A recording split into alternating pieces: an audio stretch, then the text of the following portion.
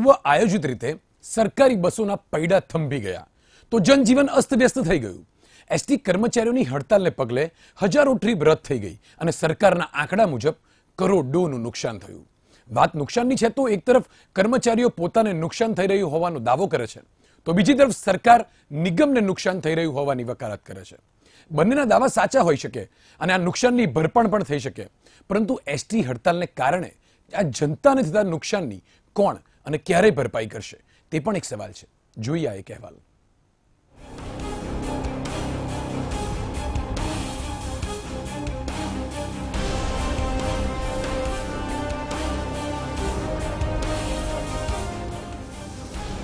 રાજ્યભરના એસટીના કર્મચારીઓ આજે હડતાળ પર ઉતર્યા તો હજારો બસોના પૈડા થંભી ગયા, જેના કારણે લાખો મુસાફરોને રજડવું પડ્યું છે. કેમ કે જીવન માટે ધબકતા સામાન્ય જનજીવનને ક્યારેય હડતાળ હોતી નથી. હડતાળના પગલે ક્યાંક દર્દીઓ અટવાઈ ગયા તો ક્યાંક વિદ્યાર્થીઓએ ફરજિયાત રજા રાખવી પડી. તો ક્યાંક કોઈએ અતિ જરૂરી એવા સામાજિક વ્યવહારો મુલતવી રાખવા પડ્યા. આજે તો ખરેખર બહુ મુશ્કેલી પડી. રોજ અમે અપડાઉન કરીએ છીએ પણ આટલી મુશ્કેલ નથી પડી હોતી. આજે લગ્ન પ્રસંગ હોવાથી જવામાં ખૂબ જ મુશ્કેલી પડી અમને. પાલનપુરથી આવીએ છીએ અને અમદાવાદ હવે પરીક્ષા હતી ડીડી કોન્સ્ટેબલની એટલે કીધું બસ મળી નહીં એટલે એક દિવસ વહેલા આવવું પડ્યું મુશ્કેલી બહુ પડી. પણ શું કરવાનું પછી? અ, બસની હડતાલના કારણે આ રિક્ષાવાળા છે બીજા શટલવાળા છે એ બી પોતાનો ફાયદો ગોતવા માંડ્યા અને મતલબ તે બી લાભ ઉઠાવવા માંડ્યા આ બધી પબ્લિકનો પ્લસ અમારે આજે સવારે પહેલી શિફ્ટમાં જે એક્ઝામ હતી, ત્યાં જવામાં પણ મુશ્કેલી પડી. આગલી નાઇટ પર અહીં રોકાવું પડ્યું. ઘણી બધી મુશ્કેલી પડી. હડતાળને પગલે રાજ્યભરમાં બસોની દસ હજાર ટ્રીપ રદ થઈ ગઈ હતી. સરકારનો દાવો છે કે એક દિવસની હડતાળને પગલે સરકારને એક જ દિવસમાં દસ કરોડનું નુકસાન થયું છે. પરંતુ જો નુકસાનીની વાત કરવામાં આવે, તો એસટી કર્મચારીઓની પણ એ જ ફરિયાદ છે કે તેમને સાતમા પગાર પંચનો લાભ નથી આપવામાં આવ્યો. તેથી તેમને પણ આર્થિક નુકસાન થઈ રહ્યું છે.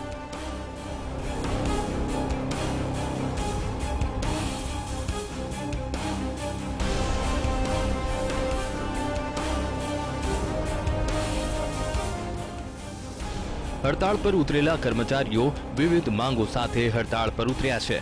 તેમની મુખ્ય માંગણી સાતમા પગાર પંચનો અમલ કરવો. તેમનું કહેવું છે કે અન્ય નિગમને સાતમા પગાર પંચના લાભ આપવામાં આવે છે.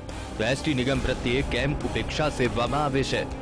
ચૂંટણી હોય કે મેળા હોય, વિદ્યાર્થીઓની પરીક્ષા હોય કે સરકારી કાર્યક્રમો હોય, દરેક સમયે એસટી કર્મીઓ પર જવાબદારીનો બોજ ઢોળી દેવામાં આવે છે. પરંતુ તેમને જ્યારે તેમને સાતમા પગાર પંચનો લાભ આપવાની વાત હોય, તો નિગમ ખોટ સહન કરતું હોવાનું બહાનું આગળ ધરવામાં આવે છે. ત્યારે આવા વિવિધ મુદ્દે એસટીના કર્મીઓએ સરકાર સામે બાયો ચડાવી છે. તેમની મુખ્ય માંગણીઓની પર એક નજર દોડાવવામાં આવે કે કેટલી નારાજગી સાથે તેઓ કામ કરી રહ્યા છે. તેમની માંગણી છે કે સાતમા પગાર પંચનો તાત્કાલિક અમલ કરી લાભ આપવામાં આવે. ફિક્સ પગારના કર્મચારીઓને સરકારી લાભ આપવામાં આવે. આશ્રિતોની ભરતી કરાય અને નિયમ મુજબ આર્થિક પેકેજનો લાભ આપવામાં આવે. એસટીના એસોસિએશનના હોદ્દેદારોની બદલી અંગેના પરિપત્રને રદ કરવામાં આવે. એસટીના સંગઠનો સાથે થયેલા સેટલમેન્ટના કરારમાં સુધારા ન કરવામાં આવે. ડ્રાઈવર કમ કંડક્ટર પાસેથી કોઈ પણ એક જ પ્રકારનું કામ લેવામાં આવે. કર્મચારીઓ પર કરવામાં આવેલા કેસ પરત ખેંચવામાં આવે. પડતર પ્રશ્નોના નિકાલ માટે કમિટીની રચના કરવામાં આવે. કર્મચારી મહામંડળના પ્રમુખ સતુભા ગોહિલે કહ્યું કે એસટી નિગમ આગામી દિવસોમાં વધુ ઉગ્ર આંદોલન કરશે. જ્યાં સુધી કર્મચારીઓની માંગણી નહીં સ્વીકારાય, ત્યાં સુધી માસ સીએલનો કાર્યક્રમ યથાવત રહેશે. એ જગ્યા ઘણી જ ખાલી જ છે.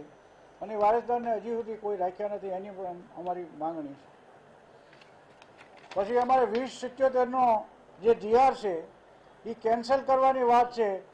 કારણ કે પરામર્શ કરીને અમારા હોદ્દેદારની પણ તાત્કાલિક બદલી થઈ જાય. એસટીના કર્મચારીઓ પોતાની પડતર માંગણીને લઈને હડતાળ પર ઉતર્યા છે. તો આ તરફ જાણે મુસાફરોને લૂંટવાની તકની જ રાહ જોતા હોય તેમ ખાનગી વાહન ચાલકોએ ફાયદો ઉઠાવ્યો હતો.